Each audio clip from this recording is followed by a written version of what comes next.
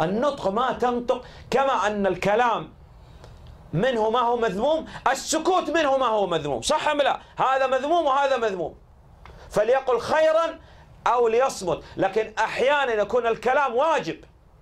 عوف بن مالك رضي الله عنه عندما سمع السب والاستهزاء قال ما رأينا مثل قرائنا؟ قال كذبت ولكنك منافق. إذا هنا وجب أن يتكلم. إذا كما أن أحيانا الكلام محرم كذلك الصمت أحيانا يكون محرم. يسمع. وقد نزل عليكم في الكتاب أن إذا سمعتم آيات الله يكفر بها ويستهزأ بها فلا تقعدوا معهم حتى يخوضوا في حديث غيره. إنكم إذا مثلهم.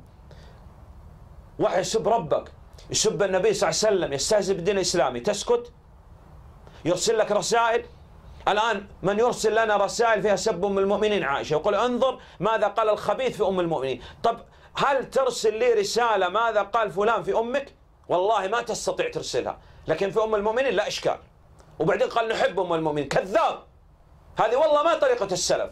النبي صلى الله عليه وسلم يقول إذا رأيتم الذين يتبعون ما تشابه منه فأولئك الذين سمى الله فاحذرهم. كيف اليوم نسمع ونقرأ لأهل البدع؟ كيف؟ لماذا؟